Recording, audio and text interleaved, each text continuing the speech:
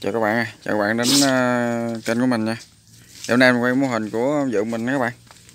Đây cái mô hình ờ, nuôi ốc của vợ mình các bạn. Đây mô hình nuôi ốc ngoài vườn ao nha các bạn. Nha. danh xài nha mương nè. Đây mô hình có bèo đồ nó dưới mương hết trơn các bạn. Thì có gông này lục bình rồi đó. Con nuôi sẵn hết trơn vậy đó ha. Nó rất là tốt ha. Nè còn ờ, ở đây thì này cá cắt cho ăn các bạn. Ốc có lên ăn này các bạn ha còn đằng này nè đằng này nó giữ nè dày vậy chứ thì cái mô hình này cũng dài ha các bạn ha? Rất là xa nhìn nó xa lắm rồi. Lúc luôn.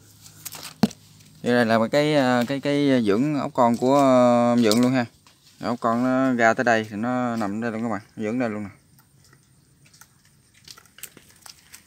Các bạn thấy ốc con đó không? Rất là nhiều ha các bạn thấy ha rõ không? Nó đeo Đó, lấy nét các bạn thấy không bạn coi nè. Ha. Mình khỏi tay nước tay bọng ngon lành luôn. Thì nuôi ao vườn là nó vậy ha các bạn ha? Thì sẵn đây cái cũng làm cái cái cái cái mái che gì nè các bạn? Tên nè che nè dưới bóng mát vậy dèo lưới nè. Ấp trứng ở đây nở ra đây luôn rồi xuống đây luôn các bạn. Lên lớn lớn cái bắt đầu bung ra ngoài luôn các bạn ha. Nè thấy chưa? Nè các bạn thấy ốc con không? Cái là nó sống tự do nó ốc con các bạn rất là nhiều ha. Ban ngày cho ban đêm mới lên dữ lắm ban đêm- đêm lên đi ăn luôn. Đó thì các bạn ấp trứng này ở ngoài này cũng tương tự như ấp trong thùng shop các bạn thấy không? Che ở trên mình nha che yếu che nắng các bạn thấy không? Bỏ trong cái gỗ đó bắt đầu mình lấy giải mình giặt ướt cái mình đậy lên. Mình xịt nước ngày đều đều mình xịt nước ngày hai lần các bạn. Ngoài đây xịt, xịt nước ba lần các bạn.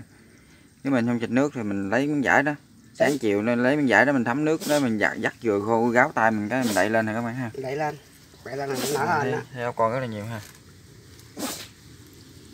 kiểu mô hình ao vườn nó vậy hết các bạn ha? Nè. Cũng mới đơn đơn giản các bạn ha? Chắc Dạ. ngàn. Thấy hết hai bên mé các bạn thấy không? Hai bên mé có cỏ này có cỏ rồi đó là nó nó nó bò nó tự động bò nó đã các bạn. Còn cái cái cái miếng mà mấy cái miếng lưới cái miếng trắng trắng đó là cái miếng là để che chuột rồi các bạn ha? Chuột nó vô nó ăn đồ. Đó. để mình quay về dài dẳng cho các bạn xem nha. Đây các bạn rất là nhiều ha. Nè rất là nhiều ha các bạn ha? Ngoài đó kìa mấy mấy giữ ra ở trên này thì mình trồng mớp vậy các bạn đó. Nuôi ngoài ao vườn nó vậy các bạn ha? Nè trồng mớp rồi làm vàng nè có trái này. sẵn cho nó sẵn cho nó ăn luôn các bạn nè không? Mớp không? Xa xa tới mình làm vào ốc này là ngon lành. Đây là cái cái trứng mà trứng mà của vượng mình ờ, nó đẻ rồi xong mình lụm vô mình ấp luôn các bạn ha. Để cặp mé cặp mé. Rồi các bạn thấy không? Là trứng ốc bu đen mình là nó trắng nha tới nó chuyển màu đen gì là nó bắt đầu nó nở nha các bạn nha thấy không? Thấy không? Còn trứng ốc bu vàng là màu đỏ nha các bạn nha. Ốc bu vàng là màu đỏ nha phân biệt kỹ nha. Đây trứng ốc bu đen của mình nè. Đó.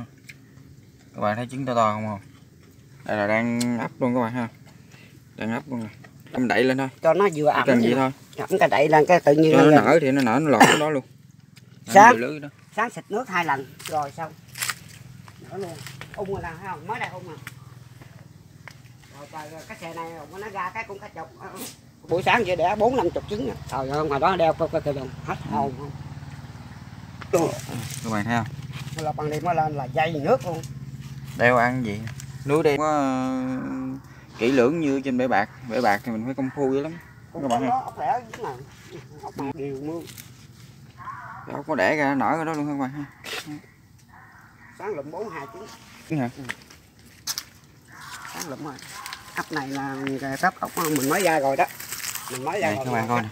Màu lớn hết sức không?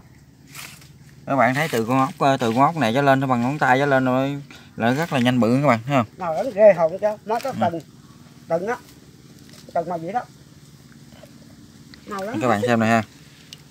Đúng từ cái này đó. trở lên rồi dưới mương là rất là mau lớn các bạn. Nhìn Mới. tháng là bắt đầu nhìn nó lớn nó bự rõ rệt luôn các bạn thấy không Út bạn thấy rõ ra bữa nay nó là đúng từng lễ đó. Các bạn thấy rõ không? Nhìn da bông rất là bóng ha. Không? bóng đẹp ha các bạn ha. Chắc cú luôn nuôi này là chắc cú luôn. Đây ha các bạn nè. Có số bự có số nhỏ nè các bạn ha. Để nuôi dưới ao mương nè. Cái này thì mình buông ra mình thả nó thôi. Không? mà nhìn thấy rất là đẹp ha ốc đẹp. Ăn cái này mà lên đeo ăn hết biết luôn ra rồi được rồi chắc là năm chục thì mình để nè lục bình nữa các bạn ha mương nè đó vậy đó. Thì chủ yếu là vậy thôi đâu có cần gì đâu. Xa xa cái thấy bèo mất cho nó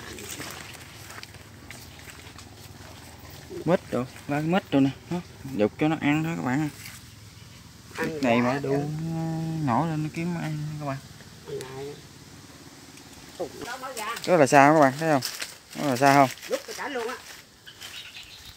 là xa đó các bạn thấy không? nó ở dưới mương thì mình gông lục bình bèo đó các bạn thấy chưa? Gông lục bình bèo rồi đó. Bây giờ nuôi ao ao vườn lợi thế lắm các bạn. Cái thứ nhất là mình không có chăm sóc cái thứ hai nữa là rất mau lớn. Mau lớn cực kỳ lắm. Đúng không? Các bạn có nhu cầu cứ liên hệ cho mình. Qua số điện thoại 0704 704 878 mình ở Phụng Hiệp Hậu Giang nha. Mình tên Tùng nha mô hình của nhà của mình thì mình ờ, các bạn cũng biết rồi đó. Mình đến đây mình quay quay cái cái ờ, mô hình của ông dưỡng mình. Các bạn cùng xem tham khảo. Các bạn góp ý kiến rồi cho mình cái ý kiến đó ha. Các bạn có nhu cầu nuôi thì cứ liên hệ cho mình. À, trứng ốc con ốc bố mẹ thì mình có cung cấp đầy đủ hết ha. Thì các bạn có nhu cầu cứ alo cho mình qua số điện thoại trên nha. Các bạn thấy không? Mình quay sơ các bạn xem ha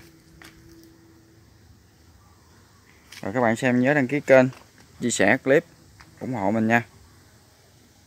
Cảm ơn các bạn xem clip nha. Chào các bạn nha.